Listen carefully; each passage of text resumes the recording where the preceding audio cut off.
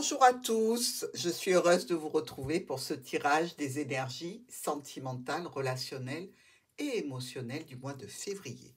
Avant tout, laissez-moi vous présenter les cartes avec lesquelles je vais travailler sur ces tirages. Donc, nous avons l'oracle des miroirs, nous avons les anges de l'amour, le tarot de Marseille, le petit le normand. Ce qu'il y a aussi sur cette table de présentation, si jamais vous vous intéressez au tirage de cartes, si vous souhaitez apprendre à lire les cartes, je vous propose deux supports très interactifs et très simples d'utilisation. En priorité, pour les confirmer du petit Lenormand, nous avons ici le grand tableau. Alors, le grand tableau, si vous voulez, regardez, voilà, hop, il tient vraiment pas place. Hein. On le met dans la petite pochette. On a les cartes avec les mots-clés ici qui correspondent à tout ce qu'il nous faut pour travailler et apprendre. Et quand vous dépliez ce grand tableau, vous avez la possibilité donc d'installer sur votre table ces 36 cartes pour une lecture vraiment très performante. Alors, Évidemment, vous avez les indications au-dessus de la marche à suivre pour vous guider un petit peu. Ça, c'est le premier support, le support du grand tableau qui est quand même pour les personnes qui sont des confirmés du petit Lenormand. Hein.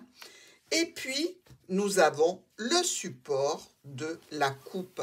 Comment poser une question simple avoir une réponse rapide simplement avec deux cartes et la méthode de lecture que j'ai développée pour vous, qui est ici sur le support, que vous recevez aussi avec la petite pochette de transport. Vous voyez, une fois que c'est plié, ça ne tient pas de place du tout, vous pouvez le ranger dans un tiroir.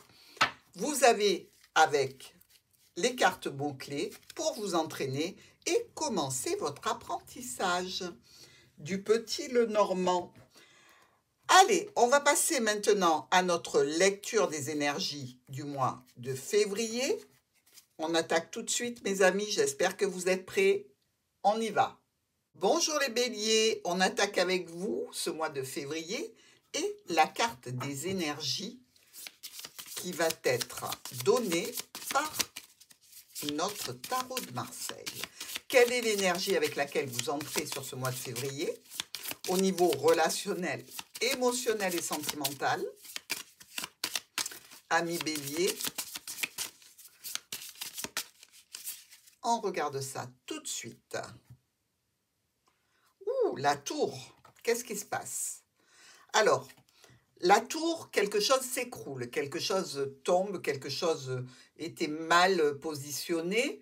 Alors, ça peut être aussi une énergie de festivité, hein, attention, hein, puisque vous pouvez voir ici le bouchon de champagne, les bulles, mais il y a quand même ces deux interprétations qui sont importantes. Donc, vous voyez, euh, l'énergie négative est quand même confirmée par la carte du pendu.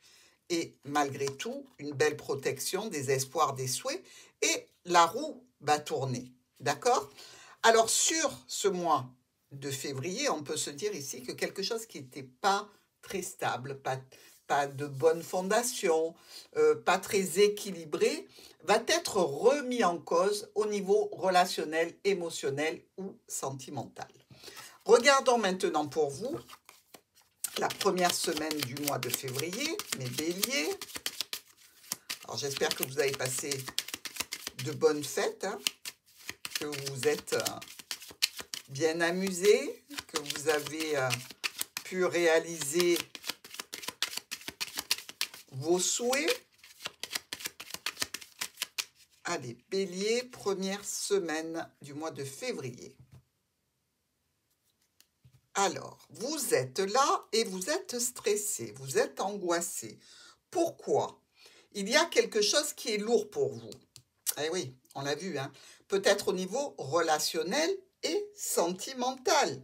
Dans tous les cas, votre émotionnel est impacté ici. Hein.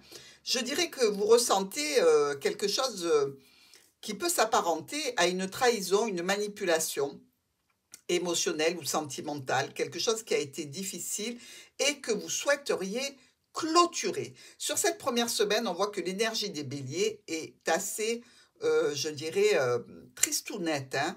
Euh, quelque chose se termine, se clôture. Bon, évidemment, il y a du stress, il y a de l'angoisse, il peut même y avoir un petit peu de frais derrière cette situation. Que l'on en fasse les frais de façon financière ou émotionnelle, dans tous les cas. Première semaine des béliers, un petit peu compliqué. Allons voir la deuxième semaine.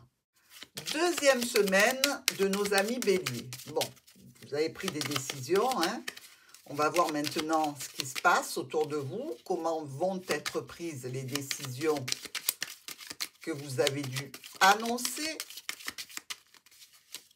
pour la deuxième semaine du mois de février? Bon. On est en plein dans l'étude de documents. Ici, on peut être euh, tout à fait dans une situation, malheureusement, qui a entraîné donc le déclin d'une relation, euh, par rapport au fait qu'il y a eu beaucoup de secrets, il y a eu beaucoup de concurrence, il y a eu certainement euh, un petit peu anguille sous roche, j'ai envie de vous dire. Hein. Et on peut être aussi dans une situation où on ne trouve pas d'issue à cause de l'addiction d'une personne qui se cache ici. Euh, vous décidez quand même de transformer cette situation. Alors, vous la transformez pour en faire quoi? Vous la transformez pour en discuter. Pour ne pas rester sur cette situation négative, vous avez besoin d'en parler. Vous allez parler avec cette personne, vous allez essayer d'évacuer des problèmes que vous estimez peut-être passagers, mais qui sont présents donc, il faut en discuter, il faut essayer de traiter le problème et surtout de l'assainir, ce problème. N'empêche que vous restez toujours avec une situation un petit peu contrariante et stressante. Alors ici, on peut se dire aussi que au niveau émotionnel, il y a peut-être aussi euh, le professionnel qui a une connotation. Peut-être que vous êtes dans, dans la situation de terminer une une profession, euh, euh, un contrat, bref, quelque chose qui va vous demander une étude de documents administratifs. Mais quand même, c'était bien dans l'émotionnel et le relationnel que l'on était touché sur cette première semaine. Donc, je ne pense pas que les, les problématiques s'accumulent. je ne le crois pas. Je pense que vous êtes surtout focalisé sur cette situation. Vous avez besoin d'en parler, peut-être même à un docteur qui sera là pour vous aider par rapport à tout ce qui est enfoui en vous et pour euh, choses pour lesquelles vous avez peut-être décidé d'interrompre une situation relationnelle. Troisième semaine de nos béliers. Ben Dites-moi, février, vous allez être bien occupé. Heureusement que le mois, il est court. Hein Parce que ce n'est pas une énergie qui est au top, ça.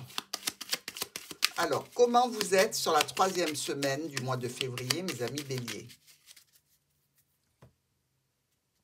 Encore une fois, les souris. Bon sang de bonsoir. Alors, il y a quand même le bouquet, hein, donc ça a l'air d'un petit peu euh, se calmer, s'arranger. Euh, je dirais que euh, la situation que vous attendez de, reprise de, votre bonne énergie, ça se fait un petit peu attendre. Vous voyez ce que je veux dire? C'est un petit peu compliqué. Il y a pas mal de retard et de blocage par rapport à cette situation que vous désirez assainir, mais il y a quand même des souhaits, des espoirs, euh, il y a quand même de la communication.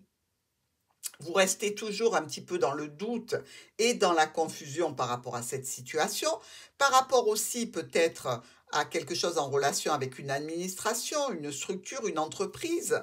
Euh, vous avancez doucement sur le mois de février. Ça, cette situation a l'air de vraiment beaucoup vous atteindre.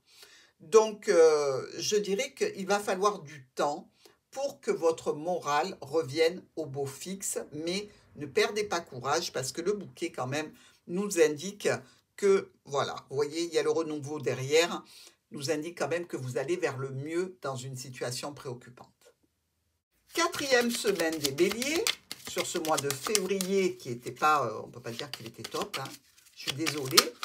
Je ne suis pas responsable, n'oubliez pas, ne tirez pas sur l'ambulance,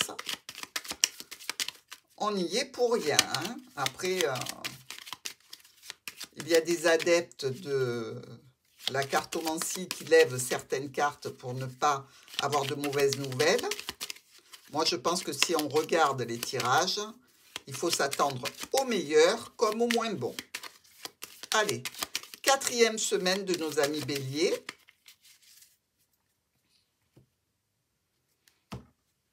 Le voilà, le fourbe. Pourquoi je dis le fourbe? Parce qu'il sort avec les renards. Et le renard, c'est la ruse, c'est la manipulation, c'est la famille et le travail aussi. Hein. Donc, on ne peut pas ignorer le fait qu'il y a peut-être une situation, au point de vue professionnel, qui vous impacte. Une rupture de contrat, par exemple. Hein. Euh, ici, je dirais que vous allez récolter une situation euh, de façon assez brutale, hein. euh, imprévue, qui est en lien avec une autorité, qui est en lien avec un patron, qui est en lien avec un domaine peut-être financier. Toujours est-il que le renard quand même nous indique euh, qu'il y a du professionnel ou il y a de la ruse dans cette situation. C'est peut-être en relation avec un ex, d'accord? Donc là, vous allez trancher définitivement. Si sur, sur la quatrième semaine, la personne avec laquelle vous avez rompu vous la considérez comme un ex, alors là, ça va être le pompon parce que les béliers, il ne faut pas vous chauffer trop longtemps. OK? Donc là, vous en avez marre, vous avez peut-être tenté quelque chose pour que la pilule passe, pour qu'il y ait peut-être une amélioration, une reconnexion, mais là, vous n'êtes plus décidé du tout à aller sur cette route. Vous coupez les ponts de façon brutale, imprévue et surtout, je dirais parce que vous vous rendez compte que derrière cette situation, malgré votre bonne volonté, il y a toujours de la manipulation et de la ruse. Alors n'oubliez pas que ça peut s'adresser à une situation professionnelle. Vous pouvez décider de ne plus avoir envie de vous battre et partir. Nous allons regarder maintenant le top et le flop.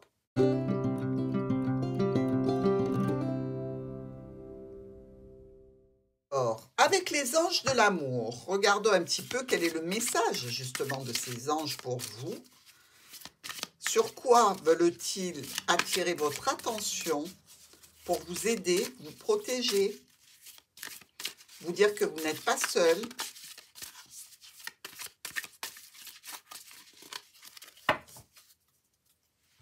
Alors, mes béliers, ayez confiance.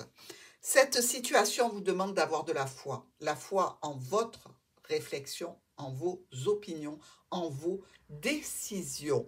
Ayez confiance en vous. Parce que vous voyez, à la fin, ça casse. Il y a quelque chose qui, qui, fait comme une décision qui est vraiment brutale. Donc faites-vous confiance. On ne dit pas de faire confiance à l'autre ici. Hein. C'est la situation qui vous demande d'avoir la foi la foi en votre bonne résolution, en votre bonne étoile. Rappelez-vous, on avait l'étoile. Donc, vous êtes protégé, ayez confiance dans vos décisions. Alors, maintenant, sur quoi faut-il prêter une attention plus particulière sur ce petit chemin? Hmm, Le voyage qui est, sorti avec euh, beaucoup de force et de détermination. Alors, le voyage, c'est le départ. Hein. Attention. Hein. Qu'est-ce qu'on a? Ah, La maison. Eh bien, on vous en dit des choses, amis bélier. Alors, sur quoi vous devez prêter une attention particulière? Vous êtes à un carrefour. Vous voyez? Vous avez la possibilité de retourner en arrière. Vous avez la possibilité, comme la roue de la fortune le disait, sous notre ami l'étoile, d'aller sur une autre route, d'avancer sur un autre chemin, un petit peu la roue du destin. Hein. Euh, sortez d'une situation compliquée pour vous, qui vous prend la tête et qui est un peu euh, inextricable, pour faire les bons choix. Faites-vous confiance, toutes les possibilités sont devant vous. Voilà, amis bélier, je vous embrasse très fort et je vous souhaite un bon mois de février en prenant toutes vos précautions.